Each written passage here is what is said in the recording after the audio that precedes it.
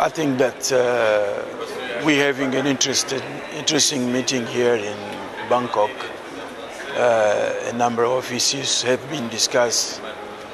We think that, uh, as far as my country is concerned, we are uh, working uh, in terms of uh, approving and ratifying the four amendments under Montreal Protocol.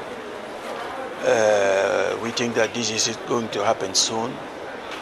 Uh, beside the internal challenge that my country is facing, we also are committed to the global uh, environment. So we are committed to Kyoto Protocol, and uh, we're still committed to Montreal Protocol.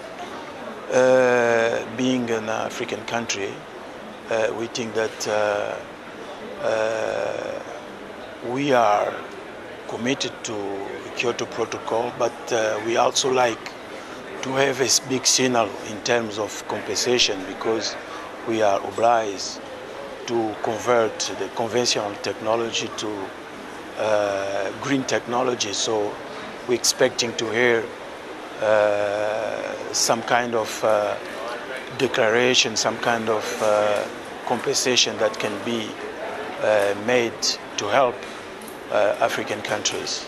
So all those things that uh, we think that will be useful to be discussed in Cancun.